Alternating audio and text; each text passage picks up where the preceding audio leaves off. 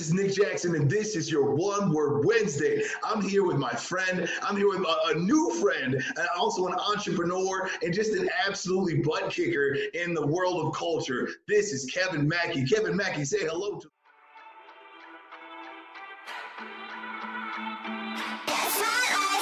Everybody, it's so exciting to be here, Nick. Thank you so much for having me on. I'm really excited to talk about things that we're doing culturally, things that matter to me that I've learned throughout my career, and just really, really excited to be able to talk to you today.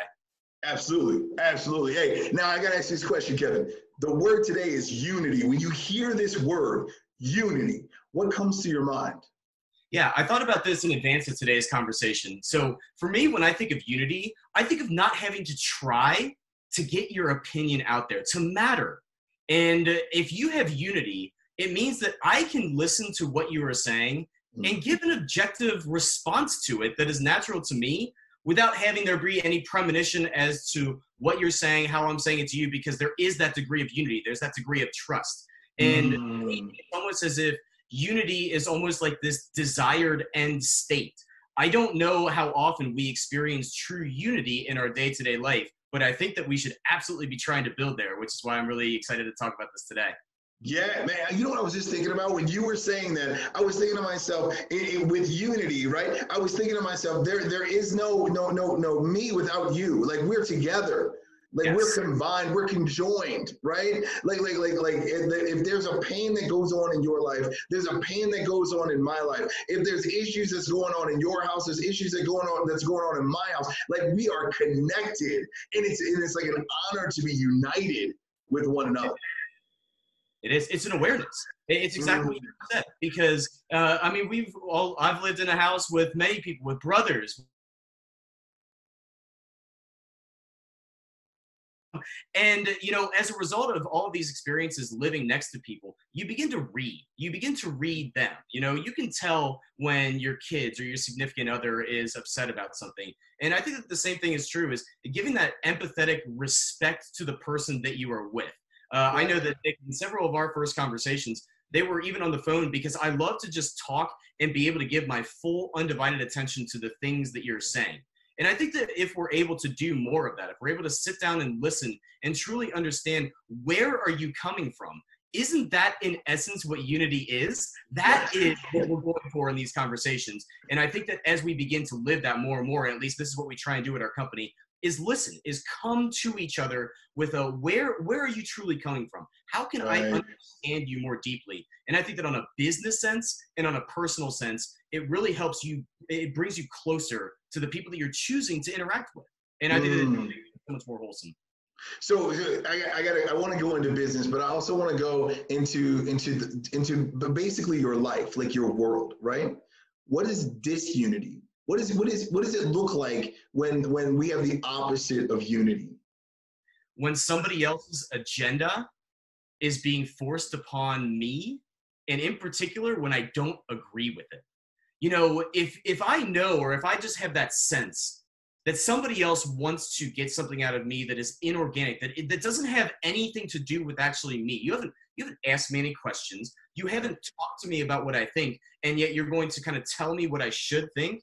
Mm. That's disunity. And I, I think that again, pe- people just have these human alarms that come up, and, and, you know we can use a lot of words for that. It could be distrust, um, but I think that when our walls come up, it's because it's like somebody is trying to bring themselves into your space without you either acknowledging it, or more importantly, without there being that back and forth flow of like, I get this, and we mm. are on the same page. I'm allowing you to come in, and I think that if those people allow for that, there's you know kind of this invisible this bond mm-hmm. that is mm-hmm. able to bring you together but the opposite is true too so unity and disunity i mean they really do kind of have these opposite ends of the spectrum but at any state at any given point in time i don't think you know you could say well i feel unity now or i feel disunity but it right. really is what leads up to it and all the things that happen afterwards that you reflect in those words unity or disunity you know, it's so interesting. I, I remember walking down the street and hearing a, a, young kid say "Black Lives Matter," and and some other person of, of, a lighter hue screamed out "All Lives Matter," and and I noticed that there was no there was no intimacy, there was no unity there.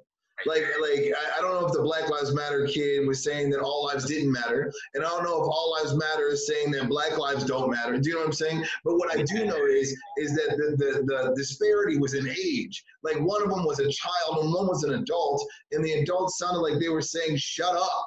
right? Like, like it looked like it felt like they were saying, "Stop talking," right? When, it, when instead it would have been so impactful for that adult to say, "What does this mean when you say it?"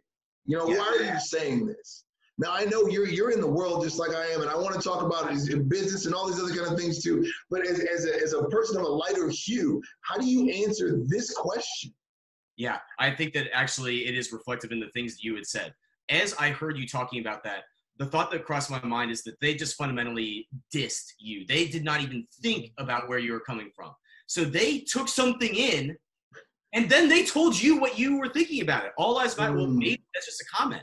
But what I was saying to you in terms of Black Lives Matters really mattered to me. Mm. And that's where I think that it's like, not only did you not hear that, but you stopped it. You stopped my momentum. Mm. And that's bothersome, I think, because what we're trying to do is gain momentum in a different way of thinking, in a different way of being. And things like mm. that just aren't unhelpful. And then you devolve into the series of conversation, well, all lives do matter. Well, sure. We're not trying to have a legal argument here. We're trying right. to understand where people are coming from and build on that momentum so that we don't have to have these conversations anymore. At least that's my opinion. I got to tell you, so when I look at the news, it, it, it's one thing, but when I think about my life and, and, and the injustice that I have seen and I have felt, and, and in other people that may have looked like me, it, it is a question mark at the end of the statement, Black Lives Matter, to me, right? And, and, and, I'm black, you know what I'm saying? And I'm sitting here and I'm, I'm watching the, the, not only the disparity, but I'm watching things I'm watching with my own physical eyes, not, not what I saw on, on somebody else's video cam or somebody else's camera phone. I'm watching with my own eyes things that I see as being injustice. And sometimes when I even thought about the, the Black Lives Matter movement, I'm like, do we? Like like like like do do we matter? I mean, outside of Michael Jordan and and and and, and, and Muhammad Ali, like do do do we all matter? What's your thought to that?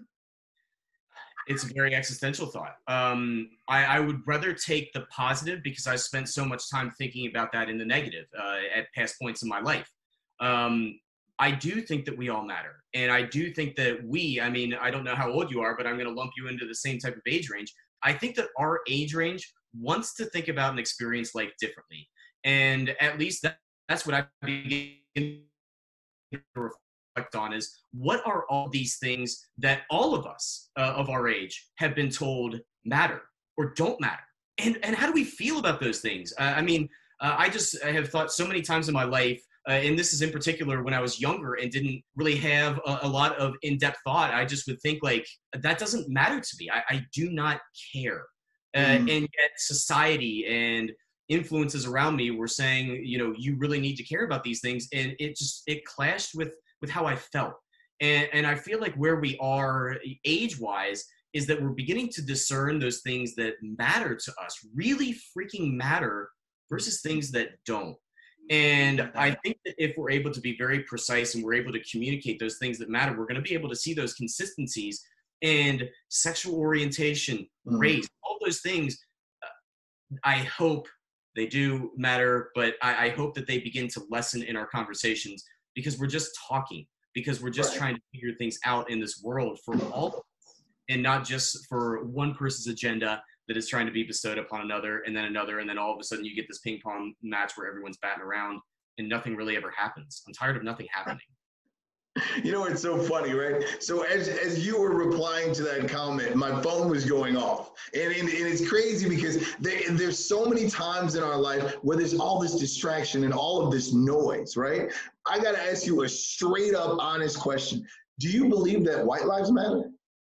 I do. I believe, uh, I can't believe that I was going to say it. I do believe that all lives matter. Um, but even as you were asking that question, I've never been asked that before.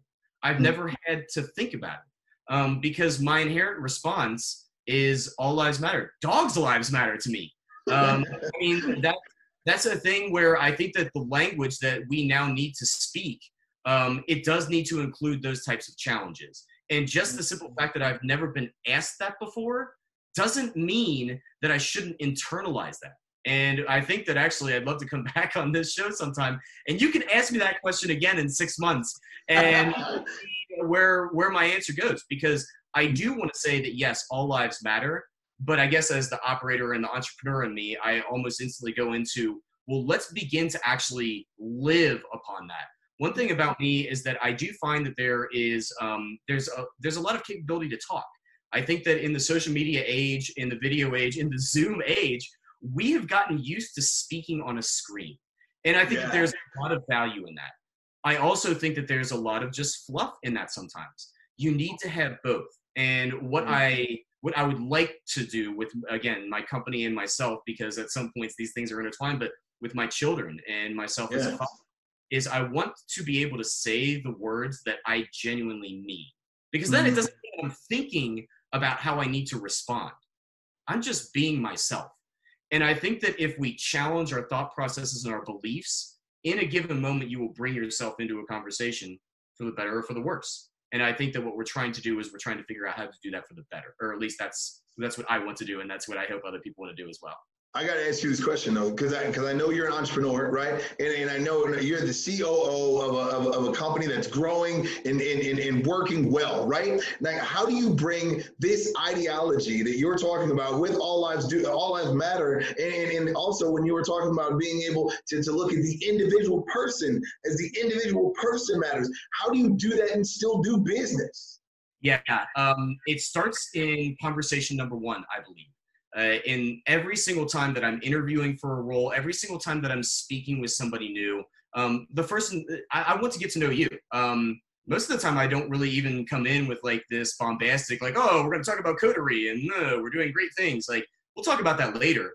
Um, mm-hmm. how am I going to talk to you about anything that matters to you if I don't know who you are? And if I don't know truly what matters to you, there, I've developed some of these philosophies a long time ago where sometimes I'll just ask a question, not really caring what the answer is. I want to hear what your answer is because if you say mm-hmm. that it's top of mind, you've probably been thinking about it. It probably matters to you emotionally in some way, shape, or form. And then I can really get to know you if I hear what your answer is, and then I ask you a follow up question about what you think about that thing or how you approach mm-hmm. it. Because then we're really getting into who you are.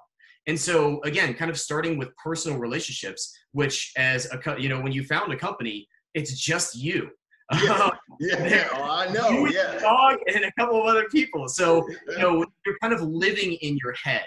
Um, mm-hmm. But as you enroll more people in what you're doing, those words matter, but they'll only stick around if you. Act. That is what I've kind of grown to from a philosophical from an approach perspective again with my children just as much as with my employees and with my colleagues is mm-hmm. how can i get to know you and have that relationship with you so that when we're going to have a trusted conversation you know we're having a trusted conversation on the professional right. side when i need to deliver you maybe some hard feedback that i can deliver that hard feedback because we have that environment we've created mm. that environment where we know that there is trust love and appreciation and that has nothing to do with anything other than me and you Right. honestly, um, how I would like to do that. Now, how you scale that at an organization is probably a topic for another day. Mm. But that's the intent is to be able to have things feel personal and feel small, even as we are growing and even as we are getting bigger. Um, I do talk a lot about culture, uh, and this is kind of. Hold on, hold on. Can, I, can I cut you real quick? I, I, really want to. I really want to talk about this in the form of unity. So the the one thing that that I see is kind of an issue that comes about is that I I think you're my boss.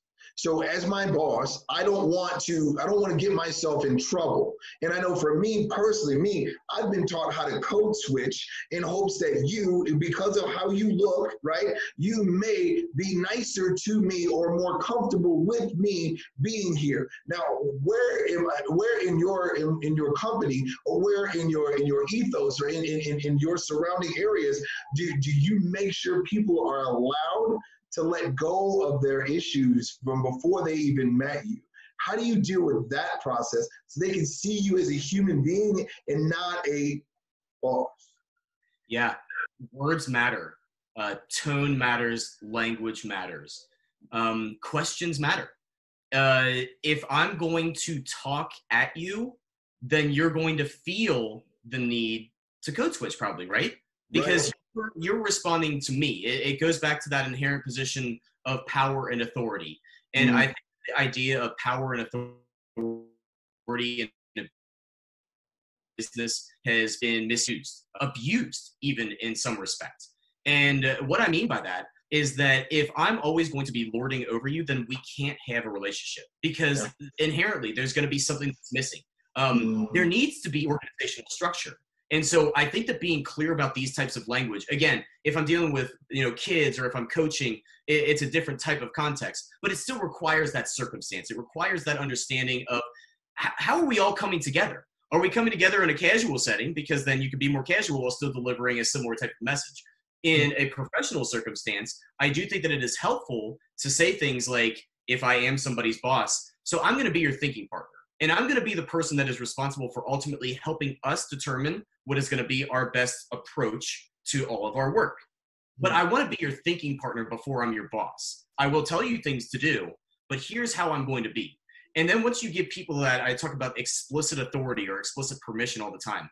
When you give people explicit authority to be themselves, an amazing thing happens. They do it Mhm. and they usually do it with a greater degree of let's say uncomplication and i think that all of these things kind of coming full circle all of that breeds unity and if there is this sense of unity among the people around you i think this gets into then just human psychology is when you feel trusted when you are with your group whoever that group is whatever that group is you feel more secure uh, that's just that Mhm. we're a group we're pack animals uh, whether we want to realize it or not. So, who is our group and how are you trusted? And I think that if we reshape that conversation for people of our age, then there are going to be things that we just, again, I hope that we don't talk about because we've got these groups and groups attract like minded people and like minded people mm-hmm. tend to do really cool things. And I, I really believe that if you're able to see that cycle of improvement happening, then it just begins to self reinforce I love it. these are, all, these are all ideas that I want to again this is the importance of living it is I Mhm. could talk all day long but if we're not living it and showing it and giving people a standard to say this is how we know that it can be done while even again going back to the professional sense while still being very ambitious while still wanting to go out and make money while wanting to go out and succeed I believe that all of these things can happen and can actually happen with unity um, we have Mhm, to right. and we have to to do the right things. So we have to say the right words. And we have to get that enrollment from the people around us, and that's what we intend to do, or at least I intend to do that. I got to tell you, so I remember hearing this saying, hurt people hurt people. And I know I've been in cultures and I've been under bosses that were hurting and I hurt too and I couldn't I couldn't I couldn't wait to get the heck out of that company, right? And then but but the one thing that people usually don't say is that loved people love people. Like and that that's that's what it is. And and and, and I I can tell that this this cultural thing means something to you. And then when I say culture, I mean culture within your business, within your home, and within your life. Now I know we only got a little bit of time left, but I need you to explain why and how this works in your life.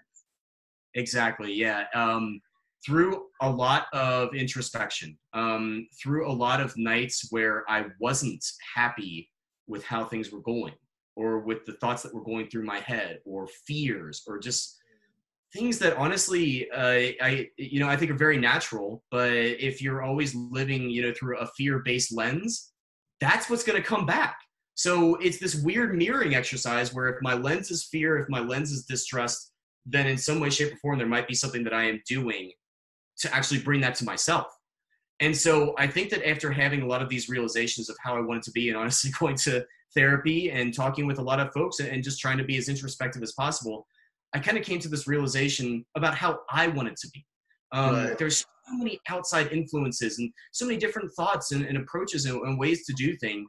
I think that once it becomes native to you and you have a purpose and you have a vision, it makes it a lot easier to go out and, and live that. Um, and so I guess that to me is what I mean by culture is that you've got uh, you know you could you could replace the word culture probably with unity or you could use them Right. synonymous because to me you know culture is an environment unity is an environment love in some respect is an environment it might be an end state but i don't know that we ever reach that end state Hmm.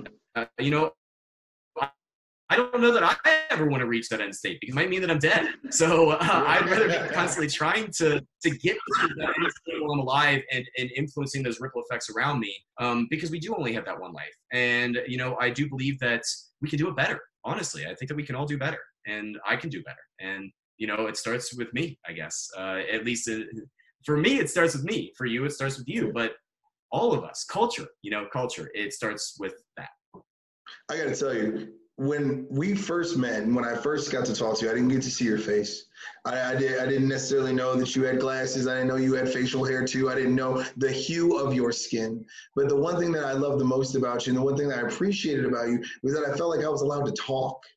Yeah. And, I, and, and, I felt like I was, I, I, was, I was, I was invited into this level of, of bonding, this unity. And for me, as, as the, the, the CEO and founder of Speak Love, I want to thank you for providing that for me.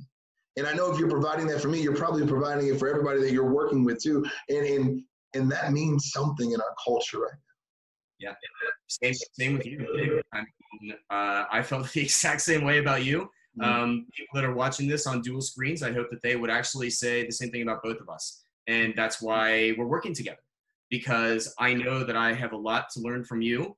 Um, I hope that you would have a lot to learn from me because I think that that's what unity is, mm-hmm. is how we just kind of crawl into those past experiences and understand what, what it means to you. You know, what is the fiber of your being? Because the fiber of your being indicates how you show up every day. You know, they're that that's why we have good and bad days. The fiber of our some days you don't really want to get out of bed, and you know it, it's fine to be lazy. Some days you have a rocket attached to yourself, and you're out of bed, and you're just you know you're a mile a minute. Like that's all a part of our being. And I think that instead of trying to like go away from that, I've learned in the past decade or so to just truly lean into it and mm. and, lean on your own energy and lean on the energy of others. And um, I actually I did have a, a shrink one time tell me the, the simplest thing. I mean, I was struggling with something at work, and she told me, "Why are you allowing yourself to be in these positions where everything is taking away from your energy?" Why don't you just mm. stuff that gives you energy? And I just thought about it for a second. And I was like, well, that's really simple. What an idiot I am. Why am I not doing that? And it's just so easy to not do it that uh, I think that all of these experiences, again, uh, I can get long winded in these things, but I, I definitely think that you bring that to that given moment in time. And I truly believe that most people want to live the fullest out of their life. And if you're able to tap into that and share a vision, then you are really starting something. Mm. All right, last thought. This is it. This is now the word is unity. If you have one more thing to say to a nation of people, one minute or less, what do you have to say? Let's inspire each other to get to a point of unity. Uh, you know, I this this conversation is being recorded and broadcast to a lot of people. I don't want that to be the place that it ends. I want this, and the way that I think, again, per, business is very personal to me because I do see that as modern business people, there in some ways isn't a lot of difference between your personal life and your business life. Yes you're dedicating and doing things that you think are going to produce some sort of output but i could be doing that in any number of businesses. Um, why i choose to do it with this group of people and then you know bringing you in is because this group of people is doing the same thing culturally to get to a better place. Um, and i think that as we have more you know right now we have 25 people as we have 50 people i want all 50 of those people to have that ripple effect I want to be able to mentor businesses that are able to then have that ripple effect in their company. And then they hire people. And then we're all doing this thing. And i think that over a period of time it becomes dare i say movement because movements are already happening. But it mm. becomes tangible. And it becomes something that in a way is unspoken because it's the way to do it right. And that's what that's my 60 seconds on where i think you know unity outside of this conversation can go. And I would love, you know, uh, Kevin Mackey, you can reach out to me on LinkedIn. I'm not really yes. on Facebook. uh, you can always reach out to me on LinkedIn and Twitter. I love this type of conversation. Challenge me, push me, because um, the way that we are all going to get better um, is by having these conversations and allowing ourselves to be vulnerable and open. So, with that, Nick, I will thank you for allowing me uh, to be on this program and to share some of my thoughts because they matter to me. Um, mm-hmm. you matter to me, and us collectively just doing a better job actually really matters to me. So thank you. Yeah, no, not a problem. I was actually going to ask you to plug yourself at the end. I know for me, and, and this is 1000% one, I thank you for being here. And then two, I can't have unity with you unless I have unity with myself. Like I can't be in a situation where I, I, I am unifying with you until I know what's native to me. I know what my identity is, and I know how I can use, plug in this identity within the greater culture. Thank you so much for being here, Kevin. Have a phenomenal day. And Thanks, Nick. together. Absolutely. See you later.